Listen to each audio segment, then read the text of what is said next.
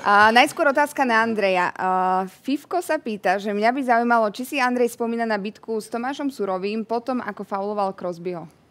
Ú, uh, sa ešte budú dohrávať večer veci. Ja, áno, áno, áno. A, pamätám si to, hej. A, a, ten kto, faul... vyhral, kto vyhral?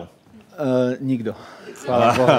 Chvála Bohu, skromný, lebo skromný. Uh, ja, to bol môj prvý rok, si pamätám, a, a Crosby mal puk, išiel na mňa, urobil mi kľúčku, nechal som mu tam koleno, tak bol to taký trošku škaredý faul a Suro bol jediný prvý pri mne, tak uh, ma chytil, chvála Bohu, sme spadli na zem, boli sme na zemi, a ešte mi povedal, že sorry, musel som to urobiť, bol to Crosby. On, že ja to chápem, pohode. Som bol rád, že to bol on.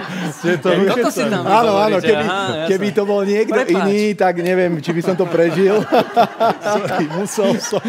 Vy ste, vy ste pravý opak tých MMA fighterov, ktorí proste kričia na seba. Tak eh, vieš, eh, väčšinou, eh, neviem, či sa niekedy stalo, že by sa dvaja Slováci pobili uh, v NHL proti sebe, hej, čiže... Aha, Uh, ja som rád, že tam, chvála Bohu, bol on. Keby tam bol niekto iný, nejaký fakt, že bitkár, tak asi, asi by som uh, zle dopadol, ale...